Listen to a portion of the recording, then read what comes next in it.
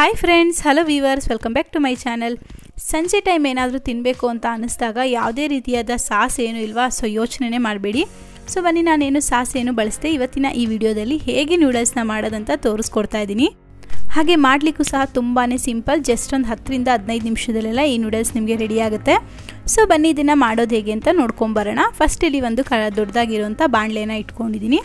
ಅದಕ್ಕೆ ಅರ್ಧ ಭಾಗವಾಗುವಷ್ಟು ನೀರನ್ನ ಸೇರಿಸ್ತಾ ಇದ್ದೀನಿ.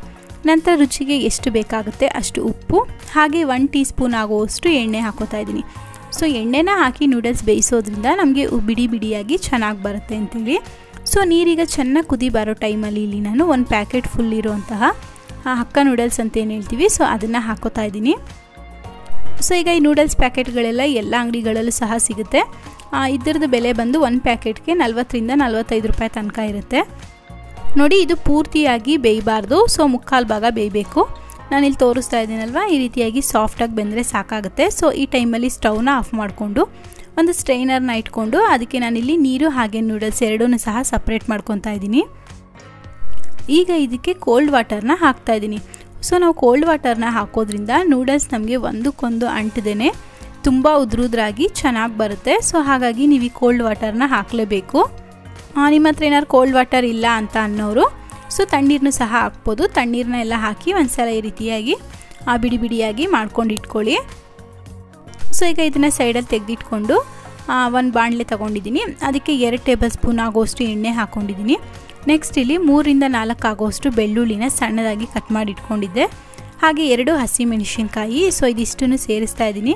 ನೀವೇನಾದರೂ ಮಕ್ಕಳಿಗೆ ಕೊಡೋದಾದರೆ ಹಸಿಮೆಣಸಿನ್ಕಾಯಿ ಬೇಡ ಅನ್ನೋರು ಸ್ಕಿಪ್ ಮಾಡ್ಕೊಬೋದು. ಸ್ವಲ್ಪ ಹಸಿಮೆಣಸಿನ್ಕಾಯಿ, ಬೆಳ್ಳುಳ್ಳಿ ಫ್ರೈ ಆದ ನಂತರ ಒಂದು ಈರುಳ್ಳಿನ ಉದ್ದದಾಗಿ ಕಟ್ ಮಾಡಿ ಇಟ್ಕೊಂಡಿದ್ದೆ. ಸೊ ಅದನ್ನು ಸೇರಿಸ್ತಾ ಇದ್ದೀನಿ. ಈಗ ಈರುಳ್ಳಿ ಕಲರ್ ಸ್ವಲ್ಪ ಲೈಟಾಗಿ ಚೇಂಜ್ ಆಗಬೇಕು. ಸೊ ಅಲ್ಲಿವರೆಗೂ ಇದನ್ನು ಫ್ರೈ ಮಾಡ್ಕೊಳ್ಳೋಣ. ಈಗ ಈರುಳ್ಳಿ ಕಲರ್ ಸ್ವಲ್ಪ ಚೇಂಜ್ ಆಗಿದ ನಂತರ ಒಂದು ಕ್ಯಾಪ್ಸಿಕಮ್ನ ಅಂದರೆ ದಪ್ಪ ಮೆಣಸಿನ್ಕಾಯಿನ ನಾನು ಕಟ್ ಮಾಡಿ ಇಟ್ಕೊಂಡಿದ್ದೆ. ಸೊ ಅದನ್ನು ಸೇರಿಸ್ತಾ ಇದ್ದೀನಿ.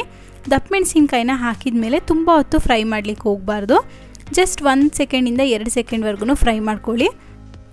ಸ್ವಲ್ಪ ಫ್ರೈ ಆದ ನಂತರ ಇಲ್ಲಿ ಒನ್ ಟೀ ಸ್ಪೂನ್ ಆಗುವಷ್ಟು ಶುಂಠಿ ಬೆಳ್ಳುಳ್ಳಿ ಪೇಸ್ಟ್ನ ಸೇರಿಸ್ತಾ ಇದ್ದೀನಿ. ಶುಂಠಿ ಬೆಳ್ಳುಳ್ಳಿ ಪೇಸ್ಟ್ನ ಸೇರಿಸಿದ್ಮೇಲೆ ಅದರಲ್ಲಿ ಇರೋವಂಥ ಹಸಿ ವಾಸನೆ ಕಡಿಮೆ ಆಗಬೇಕು.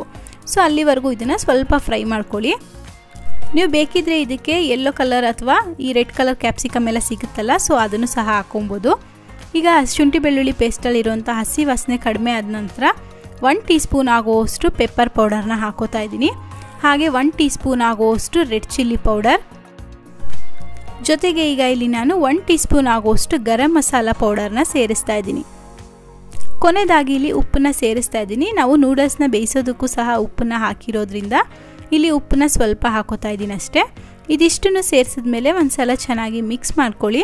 ಮಸಾಲ ಎಲ್ಲ ಸ್ವಲ್ಪ ಒಂದಕ್ಕೊಂದು ಹೊಂದ್ಕೊಬೇಕು. ಸೊ ಆ ರೀತಿಯಾಗಿ ಮಿಕ್ಸ್ ಮಾಡ್ಕೊಳ್ಳಿ. ಸೊ ಈಗ ಮಸಾಲ ಎಲ್ಲ ಸ್ವಲ್ಪ ಚೆನ್ನಾಗಿ ಫ್ರೈ ಆಗಿದೆ.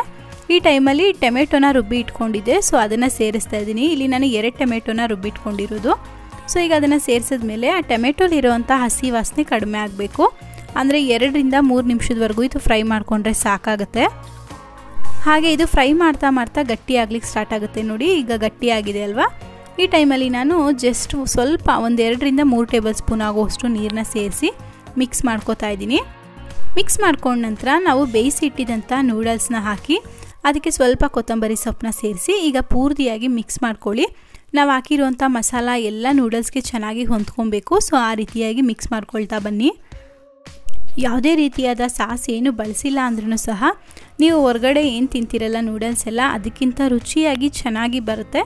ಸೊ ನೀವೊಂದ್ಸಲ ಈ ರೆಸಿಪಿನ ನಿಮ್ಮಲ್ಲಿ ಟ್ರೈ ಮಾಡಿ ನೋಡಿ. ಈ ರೆಸಿಪಿ ನಿಮಗೆ ಇಷ್ಟ ಆಗಿದ್ದರೆ ನನ್ನ ಚಾನಲ್ನ ಯಾರೆಲ್ಲ ಫಸ್ಟ್ ಟೈಮ್ ನೋಡ್ತಾ ಇದ್ದೀರಾ ಪ್ಲೀಸ್ ಸಬ್ಸ್ಕ್ರೈಬ್ ಮಾಡ್ಕೊಳ್ಳಿ. ಹಾಗೆ ಪಕ್ಕದಲ್ಲಿರುವಂಥ ಬೆಲ್ಲೈಕನ್ನು ಕ್ಲಿಕ್ ಮಾಡಿ. ವಿಡಿಯೋ ಇಷ್ಟ ಆಗಿದ್ರೆ ಒಂದು ಲೈಕ್ ಮಾಡಿ ಹಾಗೆ ನಿಮ್ಮ ಫ್ಯಾಮಿಲಿ ಫ್ರೆಂಡ್ಸ್ ಎಲ್ಲರಿಗೂ ಸಹ ಶೇರ್ ಮಾಡಿ.